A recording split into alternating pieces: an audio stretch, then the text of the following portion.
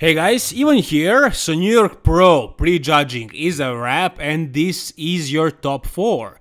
So as you can see you have Blessing Awodibu in the middle, most likely the winner. Blessing brought it, man, I mean he, he came conditioned, shredded, I mean full and round. I think he looks just as good as he looked at Indy, if not even better, but you can't really tell based on the live stream, though he didn't fade, which is kind of what is expected. If somebody peaks just perfect like he did at Indy, you would expect him to be a little bit worse next show next week, but not blessing. He came in perfectly spot on. He looks amazing, and he just might take that uh, New York Pro ring back home two pro wins for a year back to back, that would be crazy. But I'm saying just might because it is going to be a battle for that ring, for that first spot. It's between him and Maxx Charles. At least the way I see it and the way the judges are moving them, I did not expect this from Maxx Charles, not this year. I don't think anybody really expected this. Especially not Nick Walker. When these guys were making their predictions for Indy Pro, Nick Walker was surprised that the other guys had Maxx in their top 5. He was really surprised. He was like, what? And now for New York Pro, some of them had him in like top 3. Uh, but basically nobody really expected him to be really this close and even maybe even winning this show he can actually end up winning this. Honestly, guys, you're gonna check out the other poses. I- am thinking probably not because of back, you're gonna see that in a second, but look, this pose, for example, it looks really good for Maxx. It's, it's possible, anything is possible, really.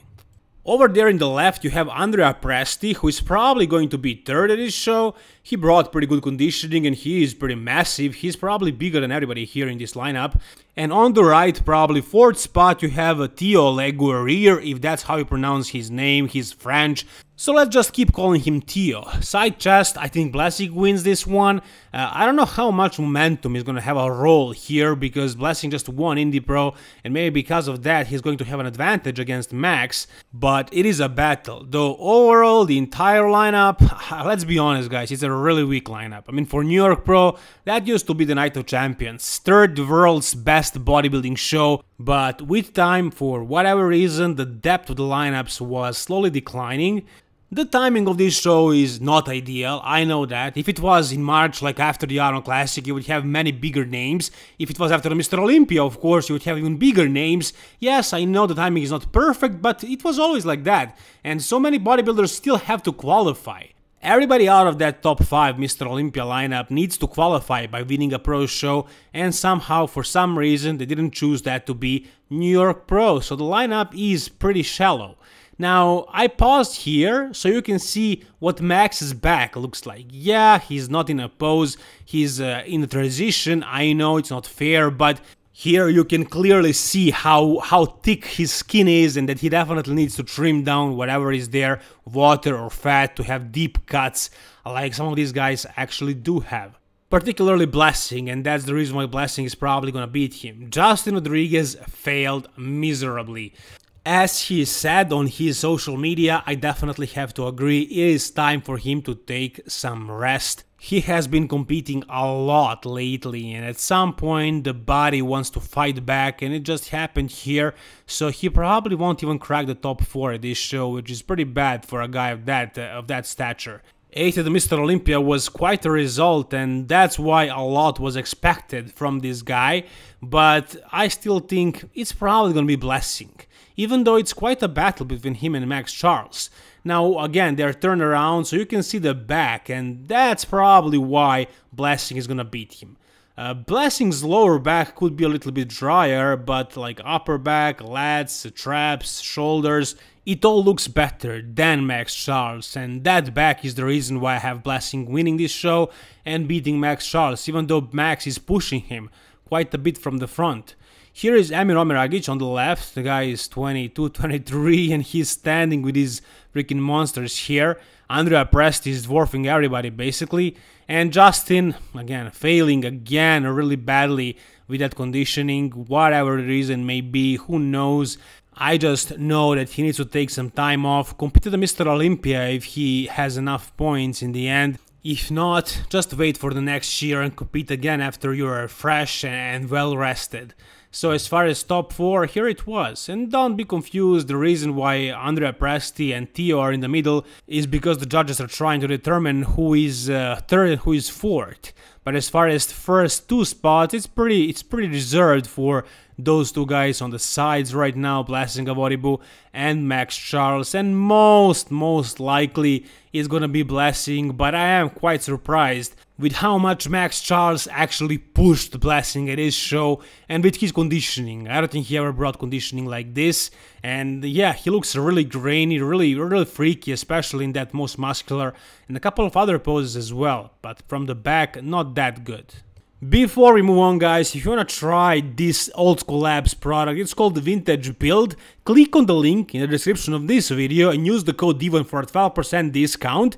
Vintage Build is basically amino acids, essential amino acids, BCAAs, actually combined with creatine and also glutamine. So it tastes amazing, it is a great thing to drink it while you're training, before you're training, wherever in the day, it's really refreshing and has a lot of benefits, muscle building benefits with it. So guys, if you want to support me and my channel, click on the link and buy this product, try it out, tell me how you like it. Seems like Blessing was so confident that he didn't even try to step over the line and to get closer to the camera and to the judges to look bigger. The judges, they don't really care too much about this, they can see who is what size, what they are more concerned in that first row is conditioning and maybe Blessing is catching better lighting because he's standing right where he's supposed to and the other guys are stepping forward a little. The judges saw who is where with size. They know who is bigger, and these guys are all matching each other. It's gonna be more about conditioning, completeness, and that kind of stuff. For the camera, you know, that's different story. Maxx and Andrea Presti and Theo may look much bigger than Blessing, but it is just out-angling, really. Blessing stands a little bit behind everybody else, and, you know, Blessing isn't really that big of a guy. You might seem he's taller, but really what he is, is a guy with really small joints. Take a look at those wrists, man, when he's doing that front double bicep. Look at how tiny his wrists are, right, right below his fists, like it's insane. And that's why he seems to be bigger than he actually is. And he has great shape, he brought really good conditioning and he peaked properly, but this is surprising how good Maxx Charles is looking in some of these poses like front double bicep. Usually he looks good in the most muscular and absent thighs, but this time around he looks good in pretty much every pose, not so much in the back poses, but those are even not that bad. Uh, here in the front lat, as you can see, it actually looks like his legs are a little bit harder, more conditioned than Blessing. And also his chest looks more separated and harder, so maybe that's something the judges are able to see better than us from these photos, and maybe that's why Maxx is going to beat Blessing and win New York Pro, but I really don't think that's gonna happen. It's very unlikely. Blessing is hitting a vacuum, Maxx has great abs, he's showcasing them, and Justin has a huge bubbly problem. His midsection, his stomach was definitely protruding, and not just that, he was just not conditioned. There was no lines, no separation, and no dryness, hardness, and all that stuff, so he definitely didn't even deserve to be in that top 4. Again, a little break for him and then come better than ever. At the same time, you can see Blessing hitting a great vacuum and Maxx flexing and showing those incredible abs.